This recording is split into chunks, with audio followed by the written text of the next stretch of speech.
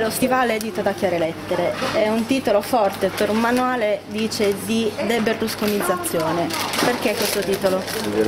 Perché rendeva l'idea del, del periodo, del linguaggio degradato, di alcune metafore legate al culo, per arrivare alle cose più trite, i ricucci del culo, la merche della culona, insomma tante cose. Allora, una, una parolaccia sdoganata che però non è solo una parolaccia sdoganata ma è il segno di un degrado generalizzato, quindi il titolo dipende da quello.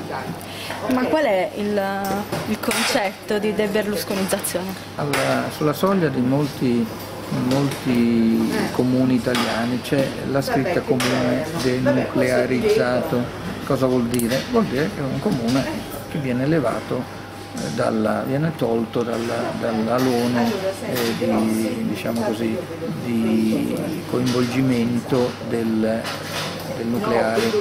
Proviamo a trasporre la stessa cosa per la, non tanto Berlusconi Silvio, quanto eh, il modo di intendere la vita eh, berlusconiano che eh, ha fatto proseliti in questi vent'anni fatto proseliti a destra, ha fatto proseliti a sinistra, molta gente ha votato contro Berlusconi ma si è comportata come lui o come quelli che lo votavano, quindi la differenza non era tanto, era solo nel voto ma i comportamenti erano uguali. Deberlusconizzare significa porsi il problema di che significa stare al mondo oggi, in una società come questa, cambiare i valori, eh, quindi il processo è profondo, importante e non riguarda solo Berlusconi che non è più a Palazzo Chigi oppure che magari non è più in politica almeno in senso stretto, in senso pieno, è un processo culturale, antropologico, cioè, l'italiano così veramente è arrivato ai minimi termini. Da cosa è, nato, da cosa è nata l'idea di questo libro? Da una domanda di fondo, come abbiamo fatto a ridurci così.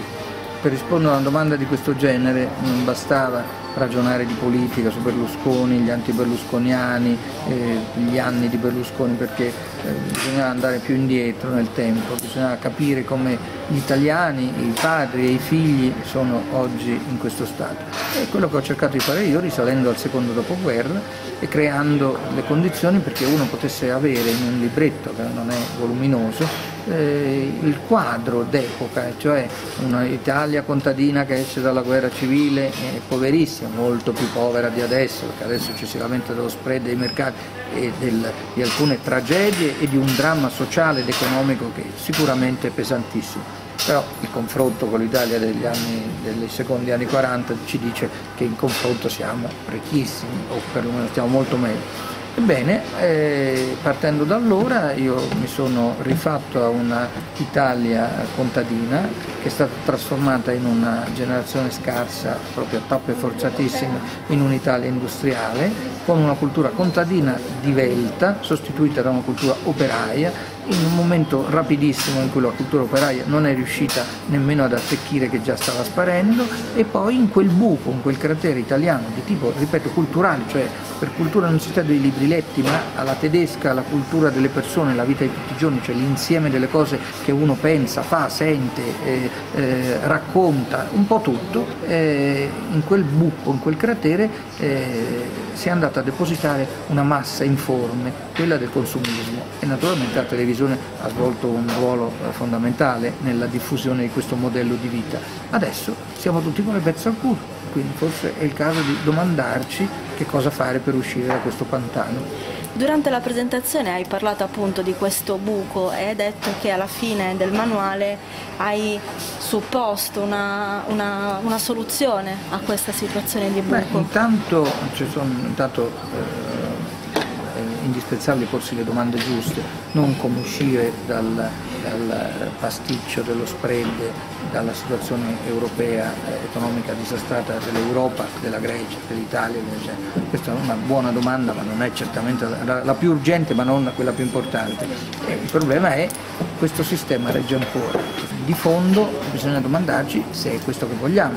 È possibile un sistema che ci chiede di guadagnare di meno e di spendere di più? Forse c'è qualcosa che non va. E quindi a partire da queste, se volete, ovvie, banali, elementari considerazioni, io mi domando se questo sistema non sia la frutta. La risposta è sì, è la frutta bisogna vedere che cosa ci aspetta dopo. Per esempio mi pongo domande nel libro sulla democrazia, se è un lusso ci possiamo permettere la democrazia, se questa è democrazia, se la democrazia ostaggio dell'economia e del denaro è una, ancora una democrazia comunemente intesa, insomma, le mie soluzioni, ma io non faccio né il medico né il ricettologo, cerco di vedere le cose per come mi sembrano senza, senza ragionare su commissione per conto di nessuno eh, forse qualcuno ricorderà che una volta a sinistra c'erano gli, gli, intellettuali organici, adesso non ci sono più gli intellettuali, non c'è più niente di organico e ci sono alcuni organetti che suonano delle musichette eh, su richiesta. Ecco, io spero di non far parte di quella categoria, perlomeno non mi risulta.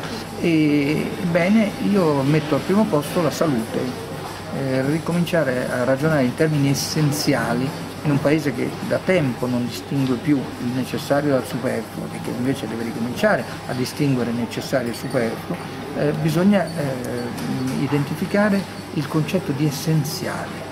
Cos'è essenziale per noi? Qual è la cosa più essenziale che noi abbiamo? Per me è la salute con tutto quello che si porta dietro. Hai parlato di pace in civile, dalla quale è necessario uscire. Che cos'è la pace in civile e, e qual è la via d'uscita? La pace in civile fa il verso a quella guerra civile da cui è uscita l'Italia nel secondo dopoguerra. Siamo in pace, sì, certamente, ma una pace in civile. È un, un paese imbarbarito, regressivo, che ha perso i connotati, l'identità, la memoria, non ha senso del futuro, è abbastanza per dire che è incivile e che quindi questa è una pace per modo di dire, è una pace basata sulla civiltà. Come uscirne? Ritorniamo al discorso dei valori, di che cosa eh, mettere al primo posto, di, di, rifare una piramide, una scala, una gerarchia. Io in questo libro ci provo. Nel tuo libro parli anche di RAI, che in questo momento è scosso da, dalle nomine del nuovo CDA. Mm. Come, come vedi la salute di questa azienda? Eh, questa azienda si è avviata sul, sulla china dell'Alitalia eh, da un pezzo. Ebbene, eh, io dedico alla RAI due ampi capitoli, uno si intitola Ginger e Freddy sono morti, eh, rifacendo il verso a quel famoso film di Fellini che forse andrebbe fatto vedere nelle scuole, e, l'altro capitolo successivo cita Cartesio a modo mio, l'ecco dunque sono. E quindi parlo di cosa potrebbe essere e dovrebbe essere la RAI, la principale azienda di comunicazione culturale, di idee, di circolazione di idee di questo paese. Questo paese, questa RAI in questo paese fa circolare le idee? No, eh, la sua mission, come dicono quelli che hanno studiato, insomma, la sua ragione fondativa è quella di eh, rendere migliore, più informata la vita degli italiani? Sì. O eppure è invece eh, una tv commerciale che deve vendere dei prodotti? Ormai è ridotta solo a questo, forse bisogna ritornare, eh, lo dico nella quarta di copertina già del mio libro, bisogna avere il coraggio di tornare avanti, che vuol dire non tornare indietro, ma vuol dire riprendere delle cose valide indietro per andare avanti. Gli ultimi risultati elettorali. Il Movimento 5 Stelle ha avuto un grande successo, forse inaspettato, forse no. Pensi che questo sia il, la conseguenza recenti, dei recenti scandali che hanno, eh, che hanno travolto la politica oppure potrebbe essere sintomo di un cambiamento da parte dell'elettore che vuole qualcosa di nuovo? Beh, le due cose potrebbero tranquillamente coincidere, però eh, il punto è che eh, il Movimento 5 Stelle e Beppe Grillo non sono nati ieri. Da come lo raccontano sembra che adesso, quest'inverno, ci sia stato in mezzo a questi scandali qualcuno che si è organizzato e ha detto andiamo alle amministrative come una gita fuori porta. Non è così. Io ho scritto un libro cinque anni fa, proprio cinque anni fa, uscito nel maggio del 2007, intitolato Italiopoli con prefazioni di Beppe Grillo in cui c'era già tutto quello che sarebbe successo dopo, quindi bastava stare attenti, in realtà nessuno sta attento, non hanno memoria e usano truffaldinamente il caso Grillo di adesso per non parlare di loro, sono furbissimi, problema è se ancora la gente ci casca, pare di no visto che votano Grillo, ma naturalmente io sono disponibilissimo a ragionare sul, sulle caratteristiche positive e eventualmente anche su quelle negative di Grillo, ma solo dopo che questi se ne saranno andati a casa. Questi dovrebbero a reti unificate a proposito della RAI che hanno invaso, dovrebbero venire a dirci sì è vero siamo stati noi, abbiamo ridotto così in questo stato, perché loro tutto sommato stanno bene a quanto pare, Beh, sono una casta, non a caso. Beh, noi pari agli intoccabili, perché chi non, è, non fa in questo paese, chi non fa parte del palazzo o del sottopalazzo, del residence del potere, ha delle difficoltà e in questa crisi ne avrà sempre di più.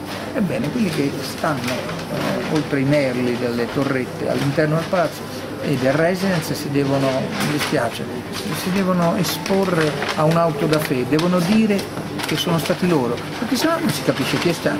Un'ultima domanda, forse banale, però mi è venuta in mente sentendo parlare di salute. Ma secondo te qual è la salute del nostro paese? Mm, pessima, anche perché non c'è un'idea di salute. Quindi bisogna ricominciare ad avere un'idea di salute per avere la salute.